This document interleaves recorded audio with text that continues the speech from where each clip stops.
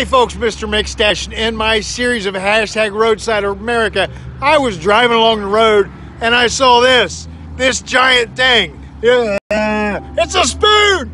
It's a freaking eight foot spoon. How about that, folks?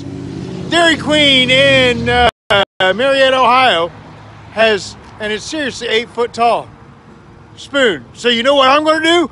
I'm going to get some ice cream. Hashtag Roadside America. Mr. McStache, see ya.